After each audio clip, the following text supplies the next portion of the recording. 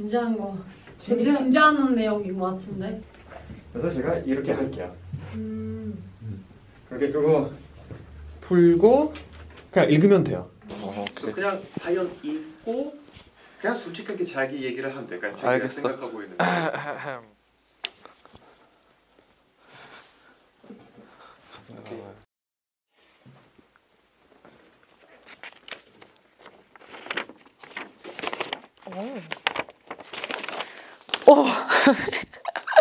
Wow.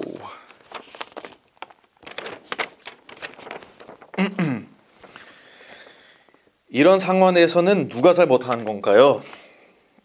A와 B는 아주 친한 절친 사이입니다.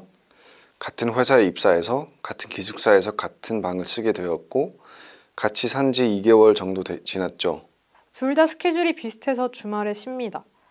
어느 토요일 아침 7시에 B 알람이 갑자기 요란하게 울리기 시작했습니다. 예민한 A는 알람을 듣자마자 1초 만에 깼죠. 1분 동안 울리는 알람이 멈추고 A는 다시 잠을 들었고 했으나 5분 뒤에 B 알람이 또 다시 오래하고 울리고 시작했습니다. A는 또 깨고 B는 아무렇지 않게 계속 자고 있었어요.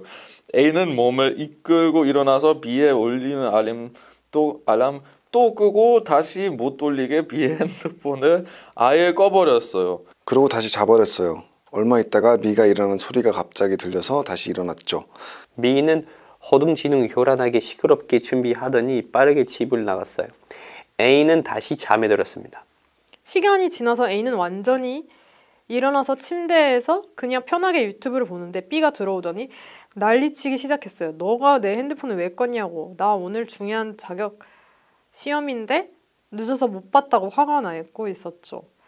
A는 너가 자격 시험인 걸 말을 안 해줬기 때문에 몰랐고 너의 알람이 너무 시끄러워서 너 안 일어나서 핸드폰을 끈 거라고 답을 했죠. 미, 그러면 나를 깨웠어야지.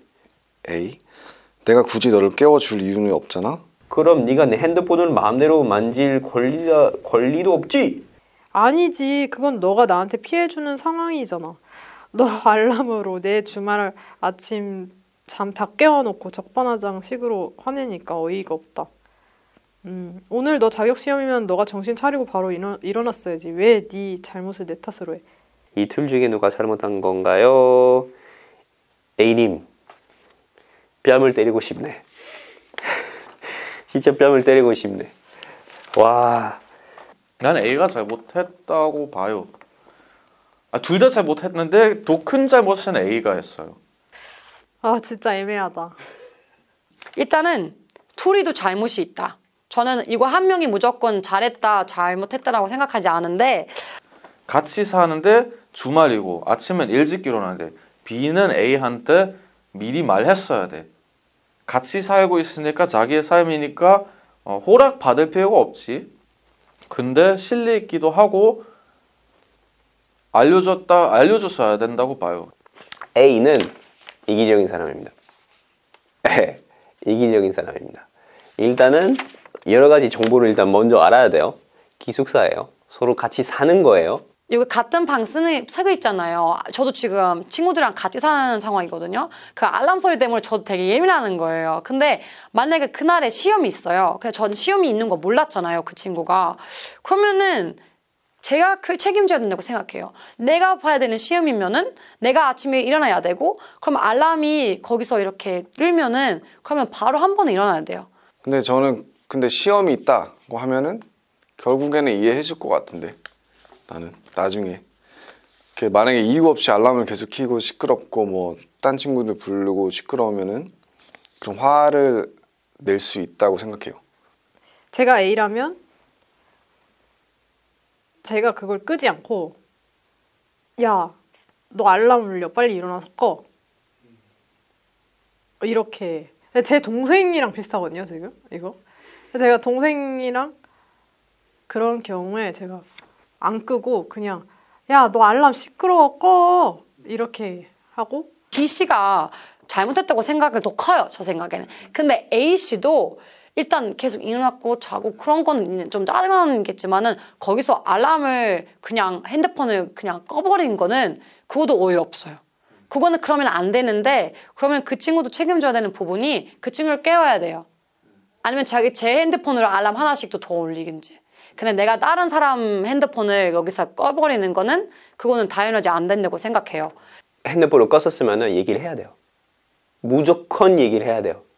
아니면 만질 권 만질 그런 그 자리가 없어요. 아니 권한이 없어요. 내가 이 사람인 알람 때문에 짜증났으니 안 깨워준 거는 복수한다는 심상이랑 똑같대요. 그러니까 나중에 이렇게 말했잖아. 아니지, 내가 너 깨워줄, 내가 과- 왜?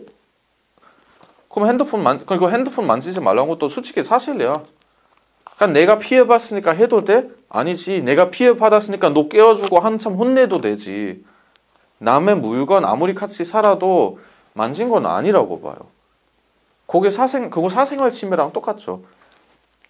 시끄러워서 일어나게 했으면은 그거 사생활 침해는 아니죠. 좀 그냥 각자 뭔가 이거는 양보를 조금씩 했었어야 됐어요.